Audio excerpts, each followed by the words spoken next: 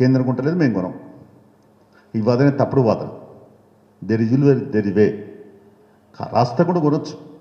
F ఇక్కడ civil supplies corporation ద్వారా వడ్లు కొని అనేక పద్ధతులు రైతులు ఆదుకోవడానికి అవకాశం ఉంది. మార్కెట్ ద్వారా మక్కలు కొన్నారు.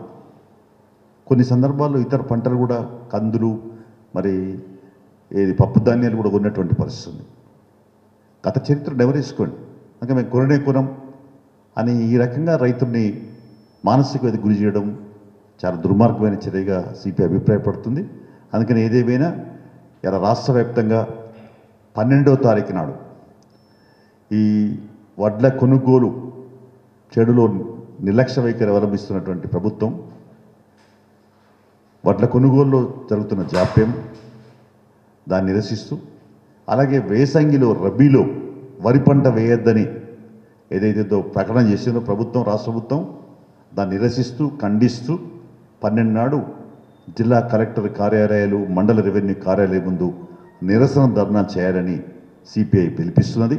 అందుకని పార్టీ శ్రేణులు రైతులందరూ కూడా అధిక సంఖ్యలో పాల్గొని ఈ కేంద్ర రాష్ట్ర ప్రభుత్వాలు అవలంబిస్తున్నటువంటి రైతు వ్యతిరేక విధానాలు నిరసిస్తూ ఖండిస్తూ నిరసన ధర్నాలు జయపదం చేయాల్సిందిగా పిలిపిస్తాం అలాగే కేంద్రం పెట్రోలు డీజిల్ ధరలు సిలిండర్ ధర అడ్డగోలుగా పెంచి మొదటి నుంచి సిపిఐ చెప్తున్నది. వామపక్షాలు చెప్తున్నాయి. అసలు పెట్రోల్ డీజిల్ సిలిండర్ వీటన్నిటిని కూడా జిఎస్టీ పరిధిలోకి తీసుకురావాలని కోరుతున్నాం. అనేక సందర్భంలో చెప్పినాం. చెప్పినా ఇవాళ మరి ఆంజనేయుని కోతిలాగా ఎక్కడికో ఆయన తోక పెరిగిపోయినట్టుగా ఇలా ధరలు కూడా యాభై ఏడు నుంచి వంద తొమ్మిది పన్నెండు దాకా పోయినాయి పెట్రోల్ ధరలు. పదమూడు దాకా కూడా పోయినాయి. అంటే ఇంత అడ్డగోలుగా పెరిగినాయి కాబట్టి పెరిగిందేమో కొండంత పెంచినారు ధరలు అడ్డగోలుగా. దించిందేమో పిసరంత నామమాత్రంగా దించారు. జానెడు అంటే మూరెడు పెంచేసి జానెడు తీస్తే సరిపోదు జిట్టెడు తీస్తే సరిపోదు.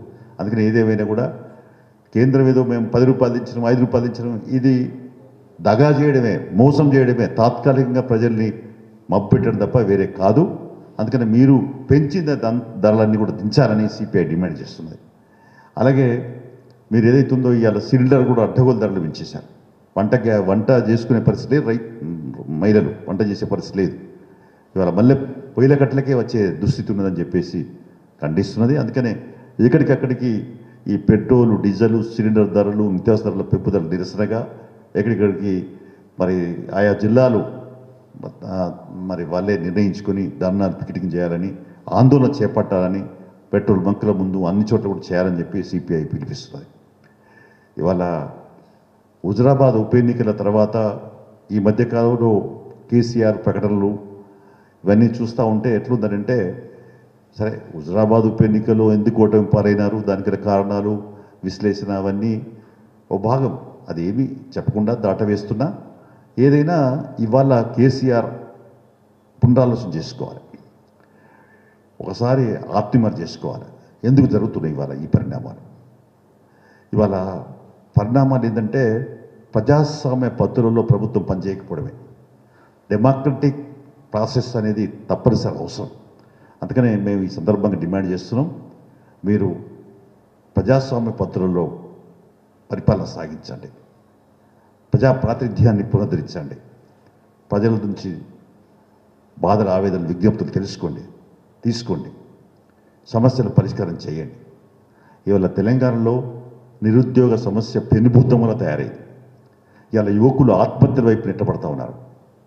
చాలా చోట్ల ఆత్మహత్యలు పెరిగిపోతున్న పరిస్థితి ఉంది నిరాశలు పెరిగిపోతున్న పరిస్థితి ఉంది ఇంకా ఉద్యోగం తప్ప వేరే మార్గం లేదనేటువంటి ఆలోచనలు రేకెత్తిస్తబడతా ఉన్నాయి.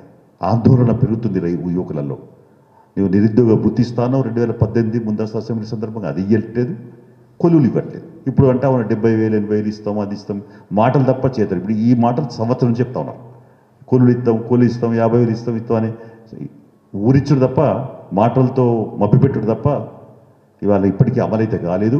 అందుకని నిరుద్యోగ సమస్య మీద తక్షణమే స్పందించాలి. లేకపోతే మాత్రం నిరుద్యోగ సమస్య మీద సీరియస్గానే ఆందోళన చేపట్టవలసి వస్తుంది బాట చేపట్టాల్సి వస్తుంది. యువకులు బాట పడతారు తప్పనిసరిగా కమ్యూనిస్ట్ పార్టీ మరి నిరుద్యోగ సమస్య పరిష్కారానికి నిరుద్యోగ వృత్తి ఇవ్వాలనే డిమాండ్లను బలపరుస్తూ ఉద్యమించక తప్పదని ప్రభుత్వాన్ని హెచ్చరిక చేస్తాం ఇంకోవైపున చూస్తే ఈ కేసీఆర్ ప్రభుత్వ పాలసీలు ఎట్లా ఉన్నాయంటే చాలా చోట్ల అన్ని జిల్లాల్లో కూడా మరి గత రాజశేఖర రెడ్డి ప్రభుత్వ కాలంలో కూడా ఇల్లు నిర్మించబడి ఉన్నాయి.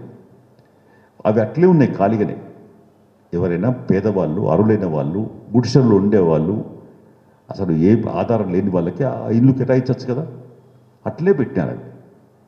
ఏదో మరి మన ఏడుకొండల వాడికి మొక్కలు అప్పచెప్పడానికి పెట్టుకున్నట్టుగా ఆ ఇల్లు కట్టి అట్లా పెడితే ఏం లాభం అది? లాభోక్తులను పంపిస్తే పేదోళ్ళకి పంపిస్తే వాళ్ళు ఏదైనా అట్లా నివాసం ఉండడానికి అవకాశం ఉంటుంది. అందుకనే అవి ఉన్నాయి అట్లాగే డబుల్ బెడ్రూమ్లు నిర్మించినవి కూడా ఇంకా కేటాయించకుండా ఉన్నాయి. అసలు ఇంకా చాలా చోట్ల అసలు డబుల్ బెడ్రూమ్లు ఇల్లు ఎవరికి ఇచ్చినారనే ప్రశ్న ఉన్నది. అంతా ఇరవై వేల ఇల్లు కూడా మీరు ఇయ్యలేదు కట్టియలేదు లక్షల్లో చెప్తున్నారు అంత నిర్మాణంలో ఉన్నాయని చెప్తున్నారు. కానీ ఇచ్చింది ఏమీ లేదు. నామమాత్రంగానే ఇచ్చినారు. అందుకని ఈ ఆలోచన చేస్తే ఇండ్ల పోరాటం పక్క ఇండ్ల పోరాటం డబుల్ బెడ్రూమ్ పోరాటం మరింత ఉధృతమైతే అయితే రాష్ట్రంలో ఇళ్ళ స్థలాలు అలాగే డబుల్ బెడ్ రూలు సంక్షేమ పథకాలు. ఇప్పుడు పెన్షన్లు అయితే నేను మొన్న గ్రామాలకు పోతే చెప్తా ఉన్నారు. నాలుగేళ్ళ నుంచి వెళ్ళి పెన్షన్లు కొత్తవి లేవు పాతయే ఉన్నాయి. ఎవరైనా చనిపోతే వాళ్ళ స్థానంలో కూడా పెన్షన్ లేదు. ఇది తెలంగాణ ప్రభుత్వం యొక్క దుస్థితి. ఇలాంటి సమస్యలపైన పార్టీ మరి క్షేత్రస్థాయిలో క్షేత్రస్థాయిలో ప్రజల మధ్య ప్రజల చేత ప్రజా ఉద్యమాలు నిర్మించేందుకు చిన్న సన్నద్ధం అవుతుందని చెప్పేసి హెచ్చరిక చేస్తూ ఇప్పటికైనా కేసీఆర్ డెమోక్రటిక్ ఫంక్షనింగ్కు సన్నద్ధం కావాలని ప్రజా సంపదలు పరిపాలన చేయాలని డిమాండ్ చేస్తున్నాం.